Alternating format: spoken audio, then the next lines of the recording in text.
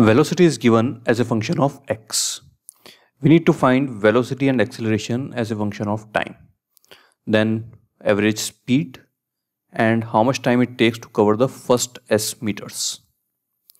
So velocity as a function of x is given and we need to find the velocity as a function of time. So we'll write it in the form dx by dt first.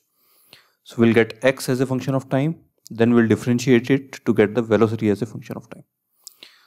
So integrate this, put the root x down and we'll get the relation between x and time. which is x equal to alpha square t square by 4. So we'll differentiate it and we'll get velocity as a function of time. Differentiate it again, we'll get acceleration as a function of time, which is constant. Now average speed, so it is total distance upon total time. Here luckily the particle is not taking a U-turn so total distance is same as total displacement.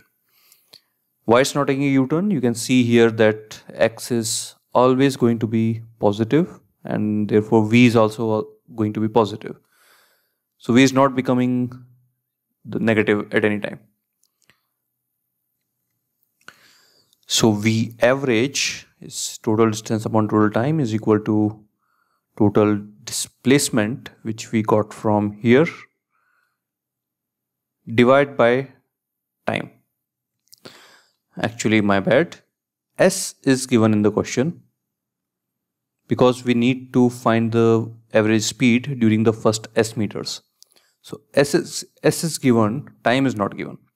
So in S by T, we'll use S s will be remain as it is and the time we will put in terms of s. And we'll get our answer v average. So for first s meters this is the v average